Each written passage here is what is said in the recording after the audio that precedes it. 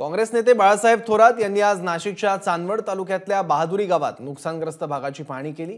यावेळी त्यांनी मुख्यमंत्री आणि उपमुख्यमंत्र्यांच्या तेलंगणा दौऱ्यावरही टीका केली आहे.